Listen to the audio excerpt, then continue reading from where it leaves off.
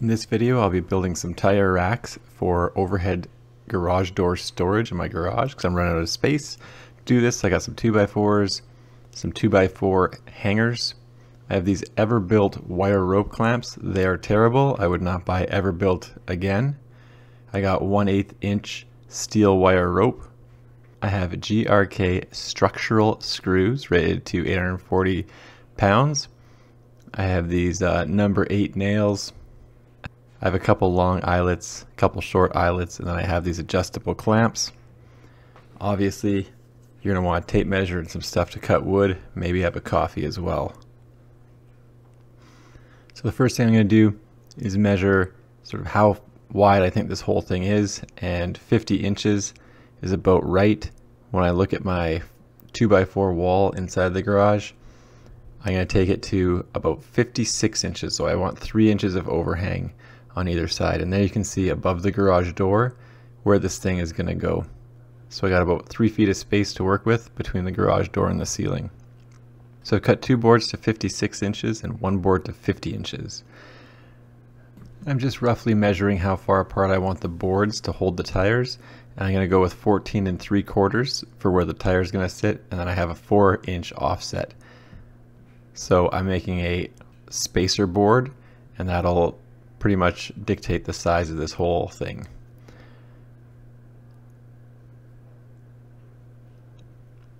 I'm just going to use a few construction screws, not the actual structural ones, just to tack this together before I start using the 2x4 joist hangers.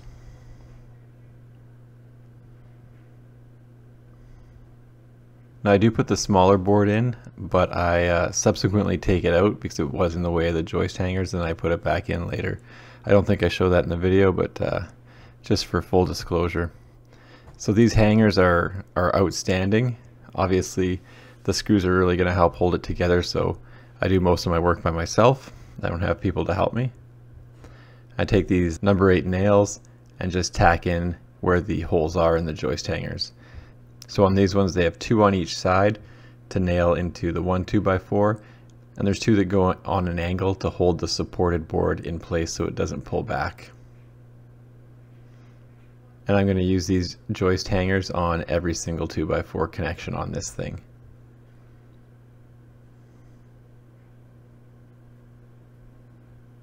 So there you can see the frame made. Now before I put it on the wall, I'm going to drill holes where the small eyelets are going to go. And I'm going to use these eyelets to hold the steel wire rope that is going to secure this to the wall. So you see the small eyelet, obviously the size of eyelet you would buy is going to dictate the size of the hole you're going to need. Then put a large washer on the back side so that the nut doesn't pull through if you when you tighten it up. So you can see a pretty simple frame and you can see the two eyelets that are going to hold the steel wire rope so the side that's away from the wall doesn't start drooping down once you put the tires on it.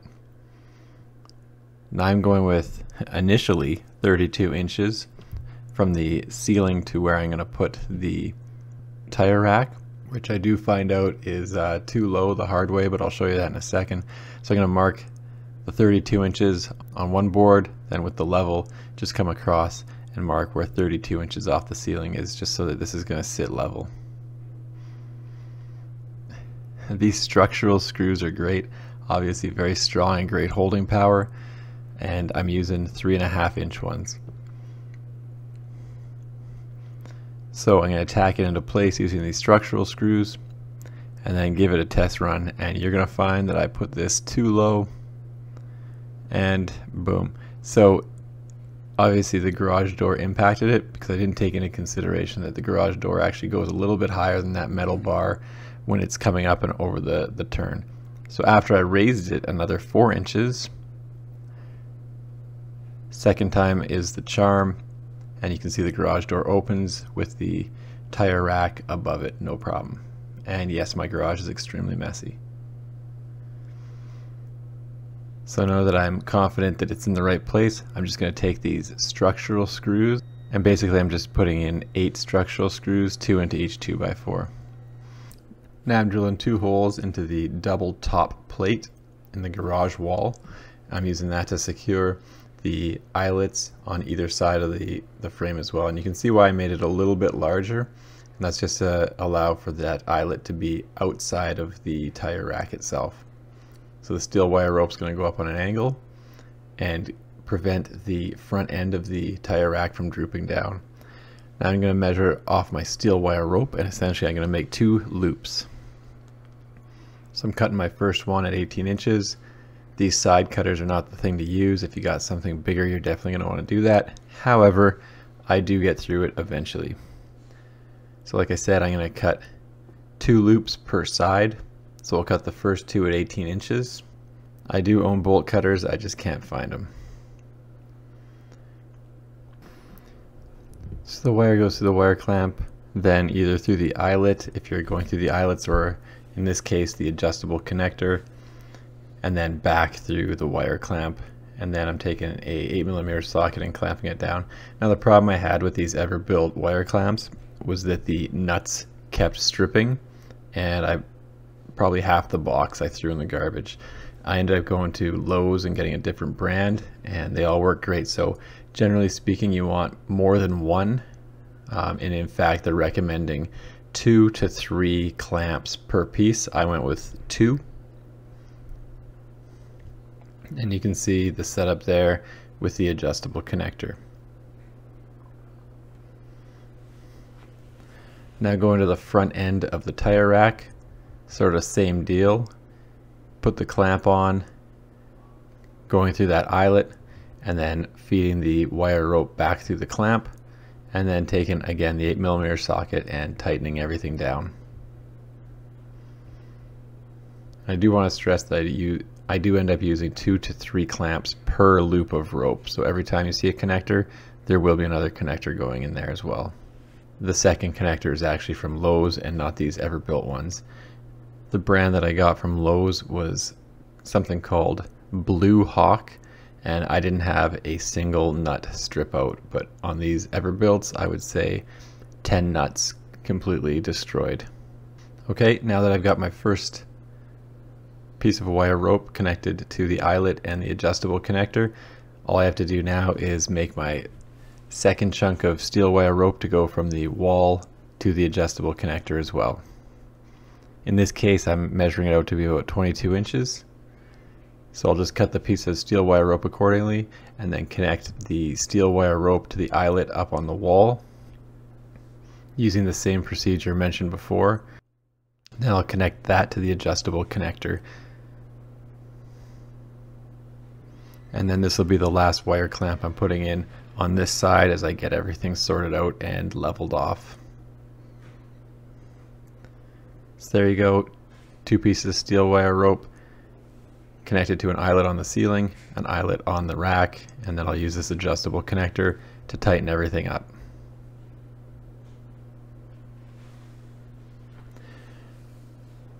And I'm going to keep tightening this until the front end of this tire rack is level. Now, I'm not going to show the other side getting constructed, but I build it in the exact same way, even the measurements are all the same. So there it is, four car tires on and two trailer tires and it's all leveled off now just to make sure that the door still opens although there's no real reason why it wouldn't. There you go. Door can open and the tires are up and out of the way so that I can make more room for other things in the garage. So once I put the tires on, it did sort of start flexing the front end down as the rope kind of tightened up. So then you just take the adjustable connector piece and crank it down a little bit more until everything's level. So there you go. Four tires, two trailer tires, no problem. And really I only used about two and a half two by fours to do this and I took a couple back to Home Depot. There's one more thing I did just to increase the safety because I don't want those tires dropping on people's head and that's just take some of this old rock climbing webbing basically I just tied the center of the webbing to the center board and then put two strands up and over the roof trusses came back tied it back to itself then took the webbing out to the corner eyelets as well. And this will prevent the wheels from rolling forward even if they get hit by something. And it'll give added support in case someone tries to use it as a chin-up bar or something ridiculous.